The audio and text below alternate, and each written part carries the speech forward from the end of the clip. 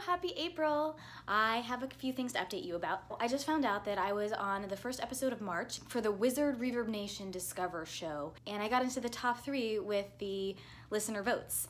I was number two, Diane Seo was number three, and Jordan Sleed was number one. Also starting today for this whole week, I'm on the Songtradr latest and greatest playlist with my song No Place Like Home, which was recorded with Tim Hanseroth of Brandi Carlile Band on Harmonies.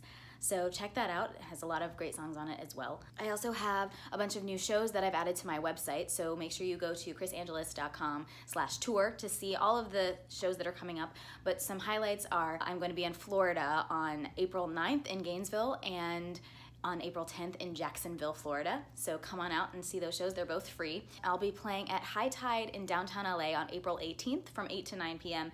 And Katie Ferreira is playing after me at 9 o'clock. I also just booked a show with my Germany touring partner from last year, Kristen Ford, who's awesome. She puts on a really fun show, and there's gonna be some other female artists. She's creating the night, and that's May 14th at the Boulevard Bar in Boyle Heights. So mark your calendars and check out the rest of the dates on my website, krisangelis.com slash tour.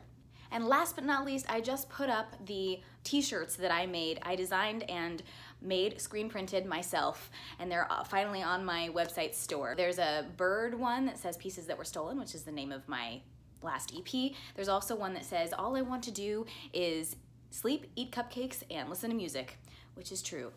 Um, I want to make music too. There are a variety of colors and styles with those uh, different designs, and there's also one that says beautifully broken which is a lyric from Stained Glass, one of my songs from Pieces That Were Stolen EP.